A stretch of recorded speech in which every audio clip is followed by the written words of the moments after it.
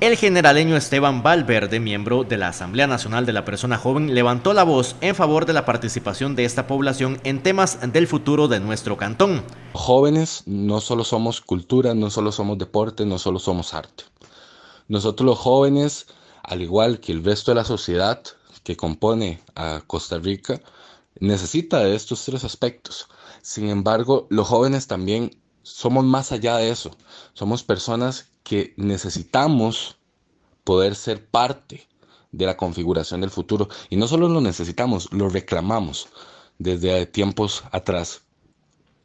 Y no es justo que este, se nos siga privando, siendo nosotros la mayor cantidad de población en, por sector, digamos, este, que vive en el cantón. Valverde fue claro que la municipalidad de Pérez Celedón tiene que ser consciente de la importancia de los jóvenes y el porcentaje alto que compone este cantón. 40% de la población en Pérez Celedón es menor a, 29 años y más del 50% es menor a, a 40 años.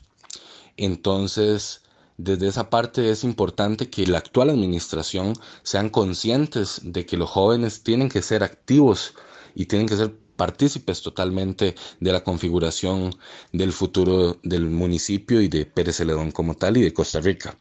Concretar proyectos de jóvenes para jóvenes es una de las iniciativas que ansía Valverde para Pérez Celedón. Más recursos para el Comité Cantonal de la Persona Joven, para que los jóvenes puedan ejecutar proyectos para los jóvenes, que sean los mismos jóvenes los que incidan en el espectro social de, de ellos. De igual forma, esperamos con ansias de que los nuevos gobiernos municipales que entrarán a regir en el 2020, a partir del primero de mayo, sean gobiernos municipales que propongan hacia los comités cantonales. Es muy triste que todos los, todos los años nosotros, y no solo todos los años, sino cada dos años también, con la conformación de los comités cantonales y los nombramientos de asambleístas de, los diferentes cantones en la Asamblea Nacional de la Persona Joven, seamos nosotros mismos los que tenemos que buscar e insistir en que los, los consejos municipales tienen que nombrar esto.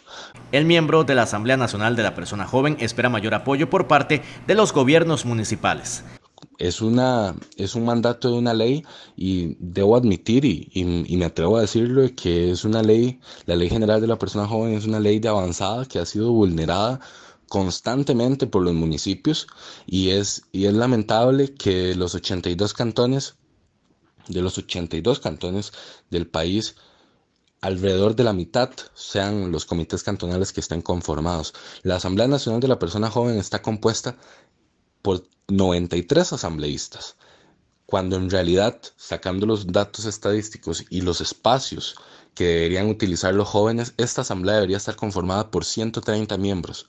Desde esta asamblea están siguiendo de cerca el tema en nuestro cantón.